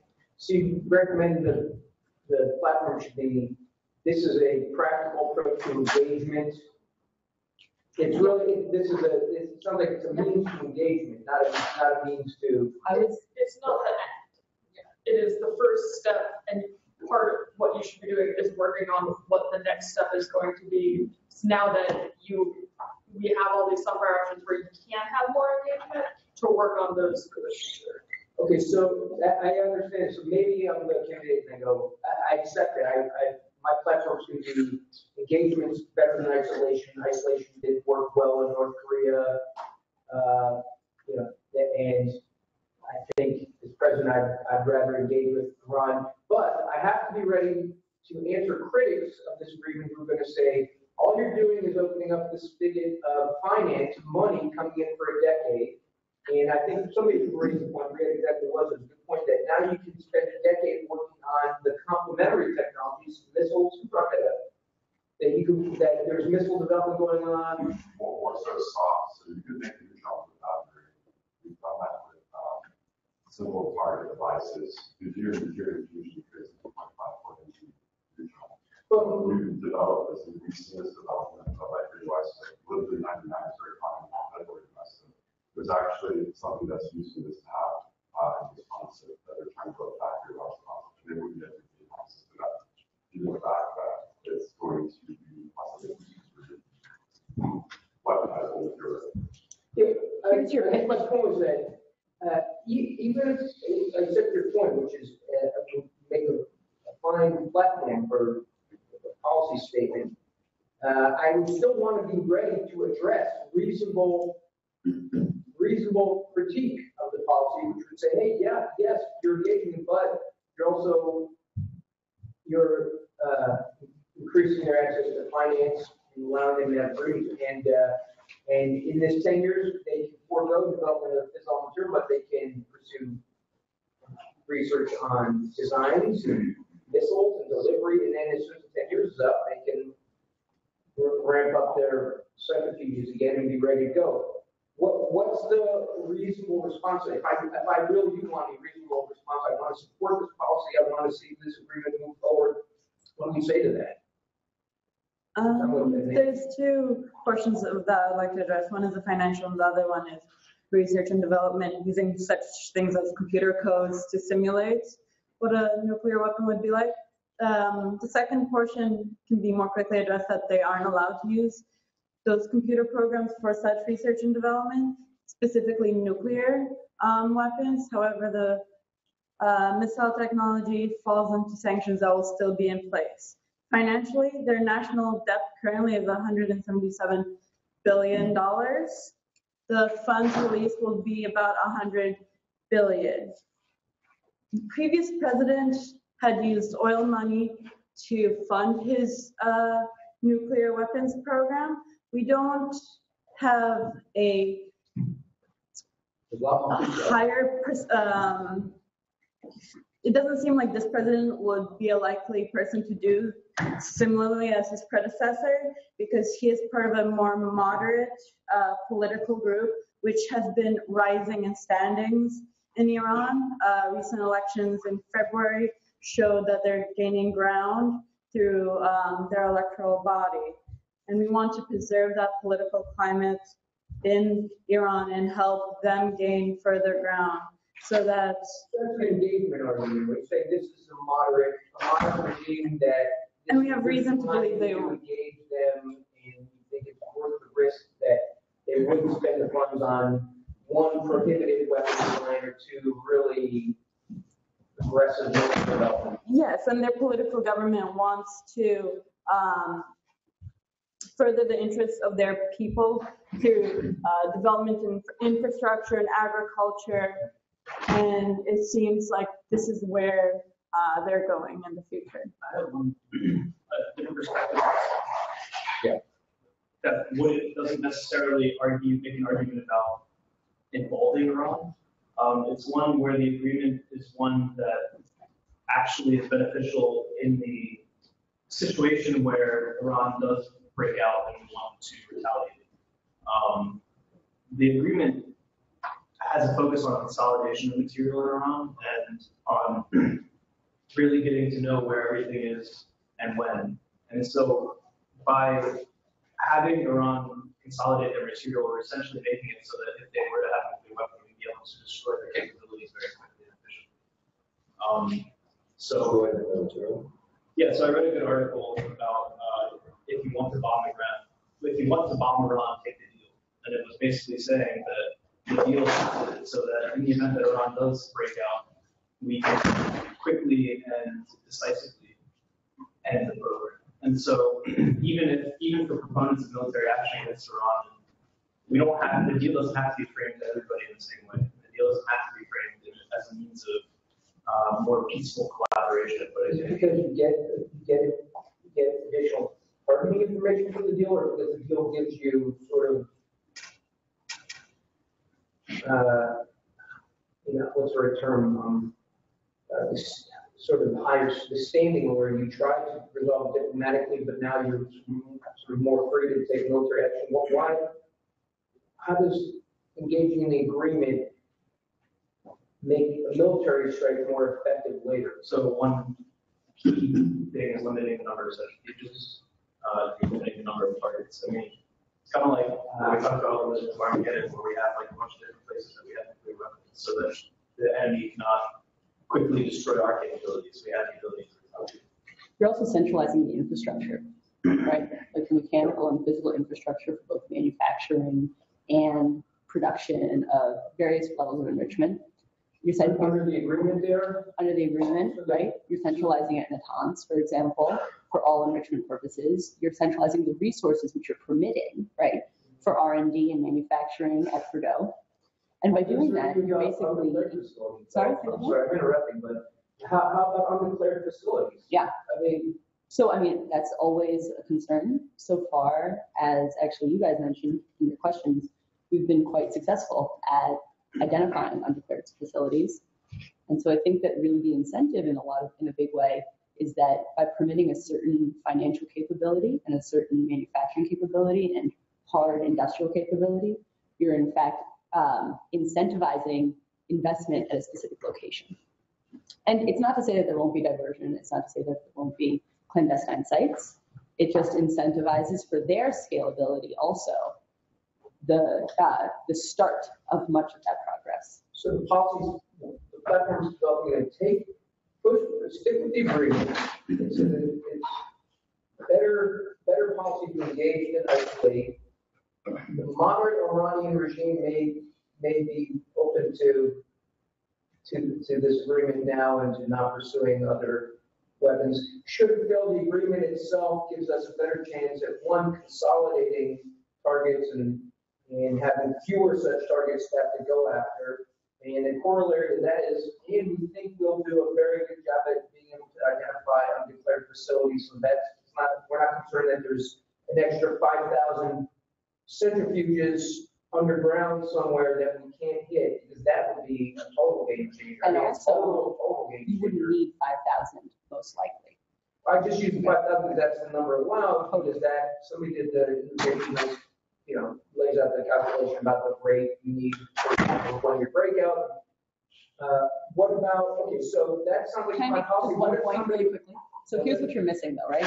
What you're missing in that is that the JCPOA is also an agreement for US national defense, right? That's what it provides in that first 10 years. And that's what that one year standpoint, breakout time really is, is it's an opportunity for national defense. And then that makes space for arms control. But you can't really go.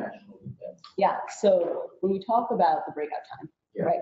We talk about setting breakout time as longer than our ability to respond, than our, than our response time. And our response time is our ability to implement national defense policies, right? So we, gives us time to develop military capabilities. Or diplomatic, uh, take diplomatic channels. Consult them on our Exactly. And basically, that's the argument, I think, politically, from a political standpoint as the president-elect, for the JCPOA's one-year timestamp being enough for the 10-year period. Would you say like, if, if you, if there was no agreement and we just went on with the pre-agreement status quo for ten years, you would expect the breakout time to go down and our options to become more and more limited in terms of military or And in diplomatic responses to It breakout didn't even scenarios. have to go down. It was already in the scale of weeks. We can't respond in that time. So I would also say that we live in a country which, unlike uh, European powers of the 19th century, um, will, it loses willingness to go to war unless it perceives itself as having its national survival threatened at a loss of a fraction of a percentage of our population. So, and I mean, for example, uh, look at Iraq and Afghanistan. Uh, the, the, if, if we historicize these conflicts, they're actually uh, very small as a percentage of the U.S. population lost, right? But the approval rating for our entire political establishment, as it were, inherently collapsed in these conflicts, right? So I would say that this agreement does a fantastic job. I'm actually going to quote the National Press University Press correctly and say that uh, offers a greater emphasis on including transparency into the programs and capabilities of outlier states, uh, which is a top priority for the 2010 US Nuclear Posture. And so the idea here is that um, this increased transparency actually offers its own its own set of rewards, right? Because if you are president-elect, you are running a country that is simply unwilling to go war at the moment. And this is your next best option. Okay. Take the deal, an engagement, not isolation, moderate regime, limited number of targets, consolidated targets, increased transparency, and overall increased time, uh, the breakout time, or increased time to respond by various means versus if we imagine the future, the next decade without the agreement, we have, you know, fewer options for response. And so you can try to couch it in a way as a reasonable, it, it still includes military, a, a military option in a way, but it gives you more military options or better military options. That would be a nice summary package included in the paper. Dr. Frank, please. That's our conclusion. No, that, that, but I, I want to get back to that original example, like, some, some, somebody comes in and wants to develop a policy plan. you know, and, uh, Then, then the details of how it's, how the implemented would be important, and they'd have to be able to defend all those things, but, but I just, yeah. I have a few questions for the district, and then maybe I'll get also to the thirty thousand foot level. So the first question is actually something Ian said, is honestly, honestly didn't, uh, fully understand. Uh, you said that any member, is that of the Security Council or of the Security Council plus Germany, could go to the UN Security Council and say, these guys are in violation. And that would automatically call a snapback. But then, then later you talked about the Security Council perhaps voting on it, where there would be a veto of members of the Security. Can you just clarify that? Okay, I think the first comment was actually in, first time I mentioned uh, automatic snapbacks, I think that was in reference to uh, IAEA not being given access to non-defense sites. I'm not entirely sure on the process because it was pretty complicated, but essentially, like, as long as Iran's not So, compliant. so the so if you want to visit that facility, Iran says no. That automatically triggers what? Uh, so I'm not entirely sure on the details, uh, because Iran just, you know, they have like X amount of days to respond and stuff like that. Let's say, you know, it's clear they're not going to provide access. I believe they do, um, I, I can't remember off the top of my head. Anybody else? Yeah, so the dis, uh, it goes to the joint commission, which is all the E three slash E plus three and Iran, they all have a seat on the joint commission. And it goes to the joint The commission Joint and Commission they, are all the signatories of the agreement, the P five plus one plus Iran, and the EU. and the EU. Yeah. And um, they, they have a, it can be up to a 35 day review period, depending on how many like re-reviews, etc. And then if at the end of that 35 days, there's no resolution, Right. the, the sanctions will automatically go back into place unless somebody has to actively veto the sanctions. So that's to get around the usual consensus that has to be taken to avoid someone like Russia trying to say, no, we don't want to enact the sanctions again. So they're automatically placed and then they have to be disputed. That, if that makes sense. So notably, actually, also the, any contracts that private companies engage with Iran uh, are permitted to remain even if the JCPOA is no longer in effect. And that is, one, one premise behind that is to incentivize um, companies to agree to, to provide various facilities and services to Iran in accordance with the JCPOA, because if you didn't have that assurance, then as a company, you might not take the risk in the event that the JCPOA was canceled outside of the contract period. Um, but notably also that, that enables certain financial and manufacturing resources to continue irrespective of the state of the JCPOA. And one of the criticisms of the agreement, um, both before it was signed and after, was that snapback, the snapback would be infeasible because only the United States would take a hard line there was a violation, that every one of the European countries have big economic incentives uh, in uh, Iran, especially Germany and France. Um, And the Russians also, because the Russians are allied with Iran in keeping Assad in power in Syria. So they're a tacit ally So that, again, criticism was, it's a facade, that it's, it- it's not real. The notion of snapback would not, in fact, be implementable because the US might